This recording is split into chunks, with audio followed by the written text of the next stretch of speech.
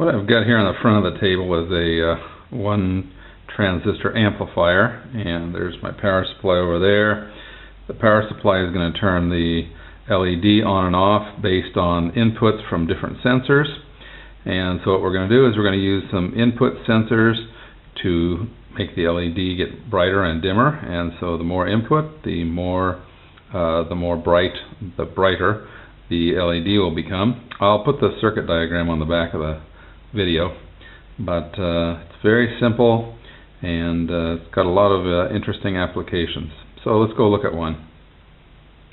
In this case I'm using one of these crystal earphones kind of a grungy one and I'm going to use that as the input and it's nothing more than a piezoelectric uh, device.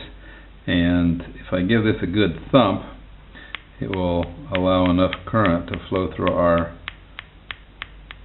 transistor base to trigger it and turn on our LED.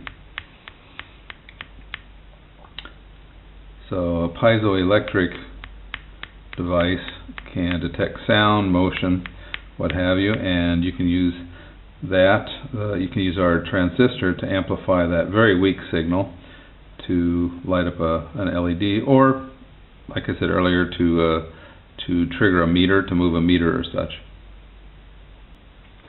So another use for the signal amplifier is light detection. And in this case, we have a photo cell, and when I block the light of the photo cell, you can see the LED changes. It goes on and off. In this case, I've got our inputs hooked up to just a coil of wire, old solenoid, and you can see I can detect magnetism with uh, very weak bar magnets, kid's bar magnet, I can uh, change the brightness of the LED by just moving the magnet around so I can detect a magnetic field or a change in a magnetic field. So in this case, I've got the uh, inputs to the transistor connected to a motor, and I can see